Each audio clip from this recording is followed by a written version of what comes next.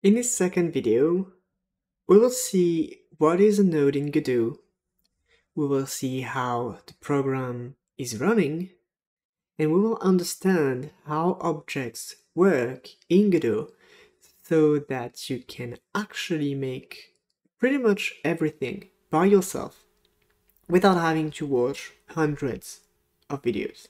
Here is a Godot project which looks like pretty much what you will have if you create something new. It doesn't really matter at the moment. What is important is this scene tree visualizer here. So Godot functions with the system of nodes and scenes.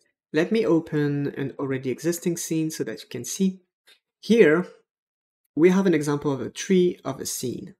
So we have the root node at the very top, and then we do have nodes branching from that root node, which are sort of contained within it.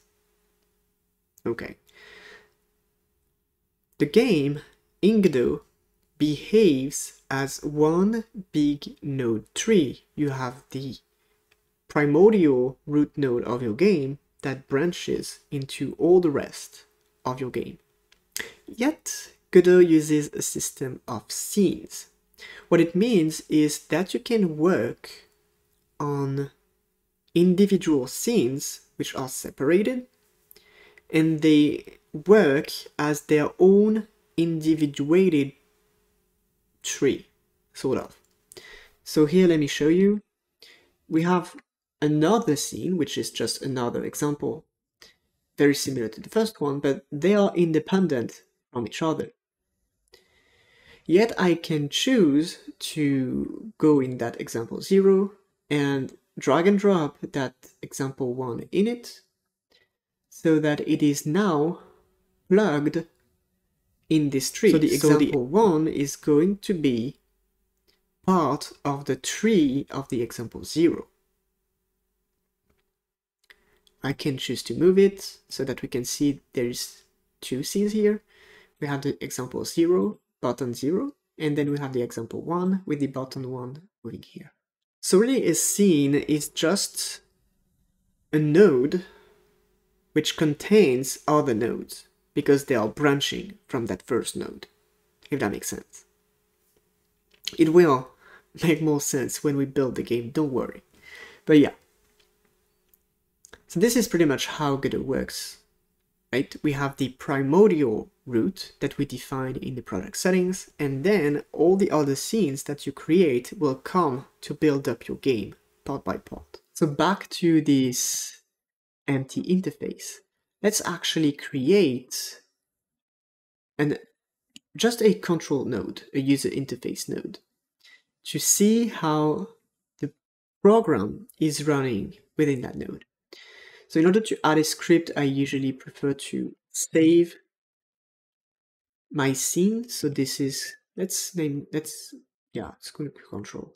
And let's rename this scene game at the moment because Imagine that this scene is our entire game. An entire game can fit in one scene, like that's possible. In order to add a script, you just right click on the node to attach a script, or you use the shortcut button. And here, by default, you will have a template uh, added to that. Uh, I usually like to not use the templates, but I will do just to show you what we have. So here we have three things. The first one is that we have a line that connects this class to already existing objects. So this line here is kind of packing a pack of information of variables and properties that we can use in this script here, but we will see that a little bit later. And here are two methods that we can create which are actually allowing us to grab the flow of instruction that goes through the game. So because we are using a game engine here, Godot has a flow of instruction that goes from the beginning to the end of the game which is something we don't necessarily need to have control on. However, by using specific entry points, we can grab this flow of instruction and say, alright, so when you arrive here at this point, I want you to do some specific things. And this is where you will be weaving your own instructions to create the kind of behaviors you do want to do. So here we do have two functions. The first one is the ready, and the second one is the process. So Godot says that the first one is called when the node enters the scene tree for the first time. So basically when the node is entering the tree, which is a specific thing, it's not when the node is created, it's when it enters the tree. This is something we will see much later. But yeah, so here I'm going to use the method print. The print method is actually displaying some text in the console. So I do have actually to say what text I want to display. So here we will have hi.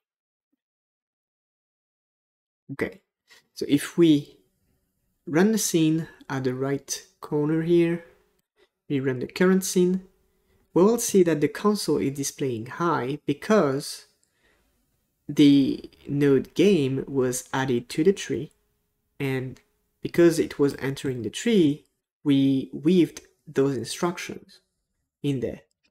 And now we can do the same with process. We can print something, which is going to be um, processing. Instead, here you can see we have a lot of messages appearing because that's every frame of the game, and that's a lot of frames.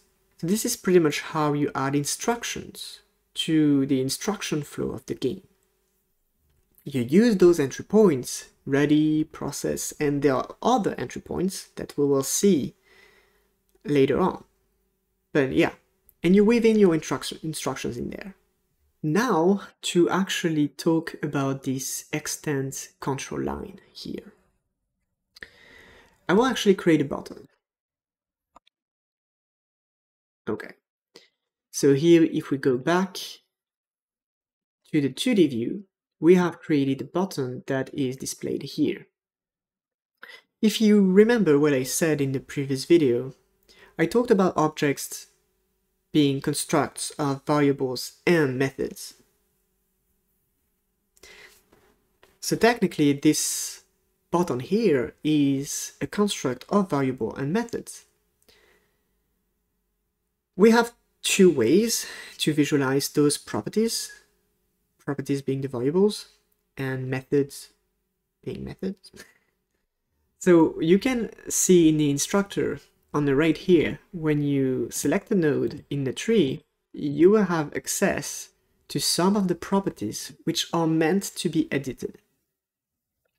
So here the button, for example, it has a text value. So you can say, this is my button. You can then go a little bit lower I will tell you where it is. In control, under layout, you can find the position, for example. So here you can say 100 pixel and 100 pixel. So this changes the position of the button. You can make it bigger by having it like this, etc, etc. So you can choose the values of the variables of that object in the inspector here. Now, these are variables which are contained within the object of the button. So if we create a script on this button, and on ready, here, we decide to say that we want the text, which is the variable here, right? You can see that it is the property text. If we change it to something different to say know this is my button, he doesn't do anything here because it is the editor, but when we run the scene, it will say, no, this is my button, because the node was added to the tree, and because it was added to the tree, it went through the instructions of the ready function, and we have overwritten the text of this button. All right. We have this specific line, extends control. Understand that this line is created based on the node we are attaching the script to. So here it is a button, so it extends button, and here it is a control, so it extends control. What actually happens is that this entire script here is a class. And from the previous video, a class is the definition or the blueprint of an object. So what it means is that here we are defining how the object behaves, how it functions, and here in the tree, we are actually instantiating this object by creating a variable that will contain this object being initialized. Might still be a little bit confusing because, yeah, it's a bit abstract, but the more we go in the series, the more sense it will make. So since it is an object, it is a construct of variables and methods. So for example, here we have the property, the variable text, which is contained within the script, but you can see that at no point it is written or declared anywhere. It is because this property actually comes from the class button. What happens here is that the class that we are creating is inheriting from all the properties of another class. So if I do control click on this button here, it will open the documentation of this class here button. And we will have a written file about it. In there, we do have a category properties, which have different variable names. Here you have the variable types, and here you have their default values. So because our script here is inheriting from the button,